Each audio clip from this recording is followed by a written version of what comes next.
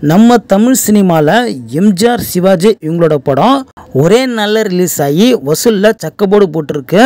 அதில் முக்கியமான திரைப்படம் எதுன்னு பார்த்தீங்கன்னா எம்ஜிஆருக்கு வேட்டைக்காரன் சிவாஜிக்கு கர்ணன். இந்த ரெண்டு படங்களும் எப்போ ரிலீஸ் ஆச்சு? வசூல் ரீதியாக எந்த படம் அதிகமான கலெக்ஷன் பார்த்தது? செகண்ட் ரிலீஸ்லையும் எந்த படம் அதிகமான கலெக்ஷனை பார்த்தது? அப்படின்னு தான் இந்த வீடியோவில் பார்க்க போகிறோம் வாங்க வீடியோக்குள்ளே போகலாம் எம்ஜிஆரோட வேட்டைக்காரன் சிவாஜியோட கர்ணன். ரெண்டு படங்களும் வெளியான நாள் பதினாலு ஒன்று ஆயிரத்தி தொள்ளாயிரத்தி அறுபத்தி நாலு இந்த ரெண்டு படங்கள்ல கர்ணன் படம் பார்த்தீங்கன்னா பிஆர் பந்துலு இயக்கத்துல கிட்டத்தட்ட நாற்பது லட்ச ரூபாய் செலவுல உருவாக்கப்பட்ட பிரம்மாண்டமான காவியம் தான் கர்ணன் இந்த படத்துல சிவாஜி கூட அசோகன் சாவித்ரி தேவிகா முத்துராமன் என் டி ராமாராவ் மற்றும் ஆயிரக்கணக்கான துணை நட்சத்திரங்கள் நடித்த திரைப்படம் தான் கர்ணன்.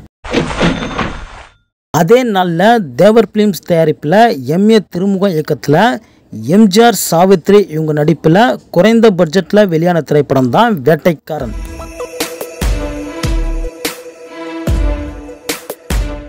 தேவர் பிலிம்ஸில் எம்ஜிஆர் நடித்த வெற்றி காவியம் தான் வேட்டைக்காரன். இந்த படத்தில் எம்ஜிஆர் கூட சாவித்ரி எம் ஆர் ராதா நாகேஷ் அசோகன் மற்றும் நம்பியார் நடிச்சிருந்தாங்க. இந்த படத்தில் எம்ஜிஆர் அவர்கள் ரொம்ப அற்புதமாகவும் ரொம்ப சுறுசுறுப்பாகவும் நடிச்சிருந்தாரு.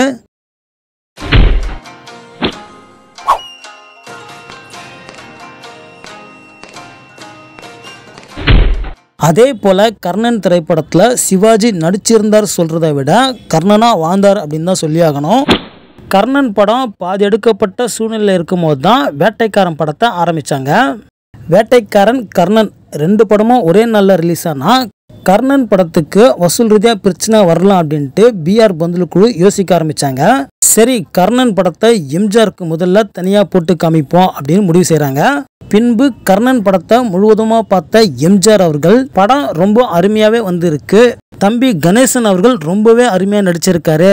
படத்தோட ரிலீஸ் தேதியை தள்ளி போட வேண்டாம். வேட்டைக்காரன் கர்ணன் ரெண்டு படமும் ஒன்றா ரிலீஸ் ஆகட்டும் அப்படின்னு எம்ஜிஆர் சொல்கிறாரு பின்பு பார்த்தீங்கன்னா வேட்டைக்காரன் கர்ணன் ரெண்டுமே ஒன்றா ரிலீஸ் ஆகுது.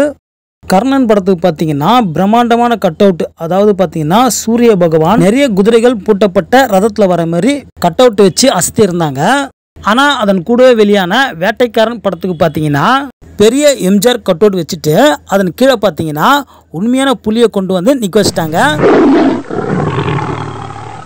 நாற்பது லட்சம் செலவு செய்து எடுக்கப்பட்ட கர்ணன் திரைப்படம். நூறு நாட்கள் ஓடியும் போட்ட முதல்ல எடுக்க முடியாம மிகப்பெரிய நஷ்டத்தை பார்த்தது.